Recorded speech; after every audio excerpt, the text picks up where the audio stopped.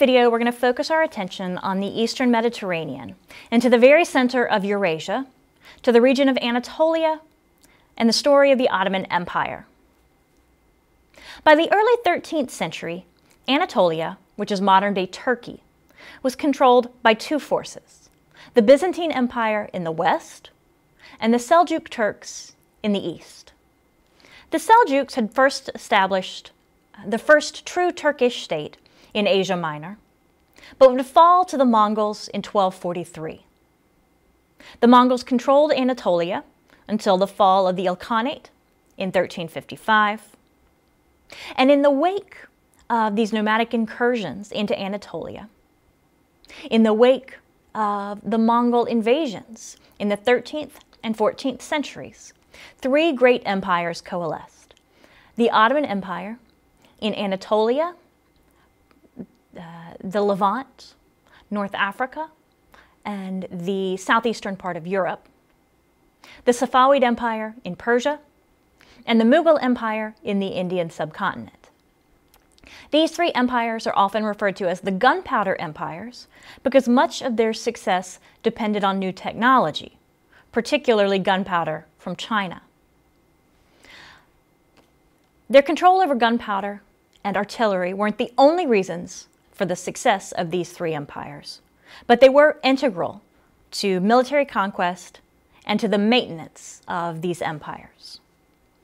So let's tell the story of one of the dominant empires from this era, the Ottoman Turks. Our story begins, as so many stories do in 11th and 12th century Eurasia, with the Mongols. The Mongols destroyed the control of both the Abbasid Empire and the Seljuk Turks over the Middle East. The fall of the Seljuks in Anatolia left a region in a bit of a political vacuum. Anatolia was divided, was fragmented into beyliks, which were regions controlled by nobles called beys, that were nominally under the control of the Mongols. First, the empire itself, and then the Ilkhanate, which extended from Iran to eastern Anatolia. And as the Mongol control weakened, the Ilkhanate faced challenges from these beys, from these fragmented regions in Anatolia. One of the beys, Osman I, would found a group that went on to become known as the Ottoman Empire, the Ottomans would ultimately push the Mongols out of Asia Minor and then go on to conquer not only Anatolia, but the Levant, the eastern coast of the Mediterranean, the northern coast of Africa, and large parts of the coast of the Arabian Peninsula. The Ottoman Empire grew rapidly in the 14th, 15th, and 16th centuries. They expanded control over Anatolia and into the Balkans, throughout the 15th century. And by 1453, Mehmed II besieged and conquered the Byzantine capital of Constantinople, a huge blow to the Byzantine Empire and a coup for the Ottoman Turks. In the 200 years after the fall of Constantinople, the Ottomans extended their control over much of the Middle East and North Africa, seizing control of the eastern Mediterranean, while land forces pushed into the southeastern part of Europe. By the 17th century, they had conquered the Middle East, the Red Sea, and Persian Gulfs of the Arabian Peninsula, northern Africa, and reached their peak by 17, sorry, excuse me, by 1699. Much of this expansion was built on military innovation.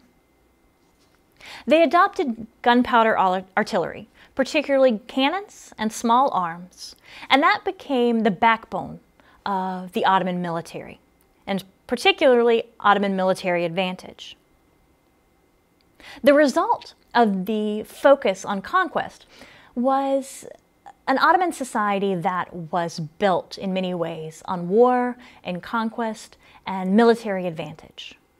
So, for example, there was a tremendously strong military aristocracy the original Turkish cavalry developed into an aristocracy with much control over land and resources, resulting in an uneasy division of labor excuse me, an uneasy division of power, rather, between this military aristocracy, these nobles in the countryside, and the emperor, called the Sultan of the Ottoman Empire in Constantinople.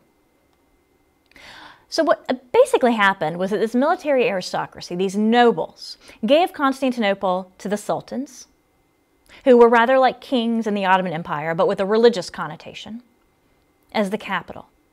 While the military aristocracy, including beys, pashas, and viziers, continued to grow and build up local power bases in the countryside. The sultans recognized these nobles as a threat, but also depended on them for the functioning of their empire, relied on them to maintain their empire. So the sultans attempted to balance the threat of this military aristocracy by creating something known as the Janissary Corps. And the Janissary Corps was essentially a, an infantry force forcibly conscripted, so forcibly drafted, from the Christian population of the Balkans. These young men were not allowed to marry, were given very strict training and oversight, and expected to be extremely loyal to the Sultan. The result was a well disciplined and loyal fighting force um, at the behest of the Sultan. So he would use this Janissary Corps in order to balance the threat from the countryside, to, to, to balance the threat from the nobles. The Janissaries quickly became the most potent force of the Ottoman military, and because they were part of the Sultan's household, were also heavily involved in court politics and court intrigue. This balance of power between the military aristocracy and the Sultan resulted in a golden age of Ottoman culture, particularly seen in Constantinople. After the Ottoman conquest of Constantinople, the capital underwent a period of building. The sultans restored the cities. They added mosques, like the Suleymaniye, converted the patriarchal church or cathedral of Constantinople into a mosque called the Hagia Sophia, they sponsored the construction of schools, hospitals, and rest houses. Thriving bazaars and marketplaces became places to trade international goods.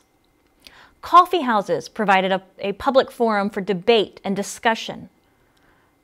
People discussed politics, they discussed religion.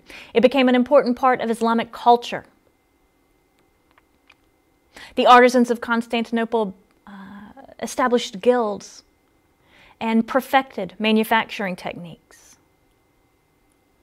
So the Ottoman court in Constantinople became the center of a thriving and elaborate urban civilization that was at its core Turkish, but was influenced by centuries of interaction between West and East.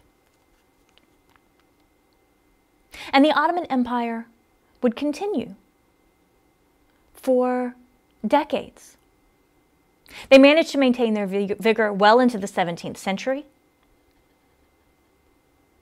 But by the early 18th century, the Ottoman Empire was showing signs of decline, signs, signs of weakness.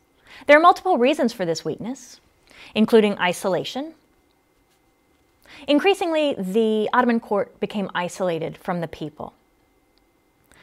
A noble known as a vizier was charged with leading the bureaucracy and often made the actual decisions for the sultan, so that later sultans became puppets of this central bureaucracy, puppets of the vizier. Other sultans would be dominated by powerful individuals within the Janissary Corps. So the sultans became more or less figureheads within the Ottoman Empire. The lack of clear paths of succession after the death of sultans meant that civil war and power struggles were relatively common. The size of the empire suggests that it was at times overextended, too large, and began, began a bit of retreat. The administrative structure that held up the Ottoman Empire, which had always depended on military expansion, began to deteriorate and weaken. Oppressive taxation resulted in protests. Economic upheavals challenged the authority of the Ottomans.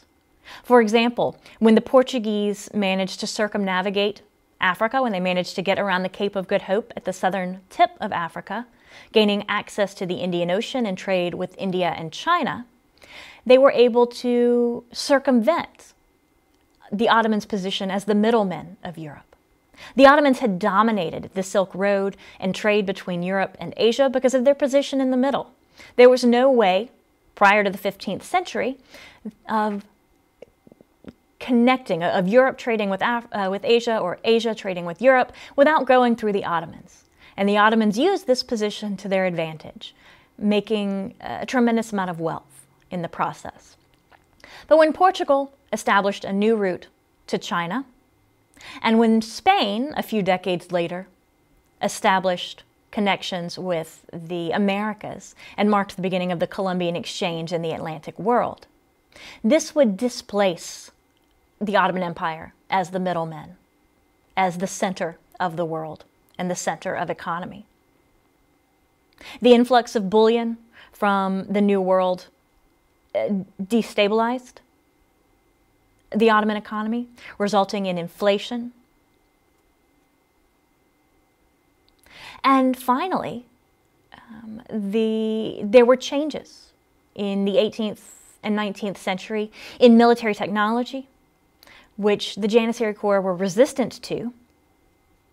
And this caused the Ottoman Empire to fall behind Western nations.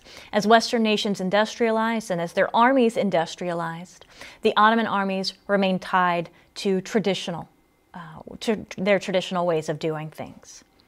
This technological and cultural conservatism continued to cause Ottoman decline, continued to cause them to disregard several important changes coming out of Europe, including industrialization, and resulted in the Ottomans becoming progressively weaker in the 18th and 19th centuries, at least compared to their Western rivals.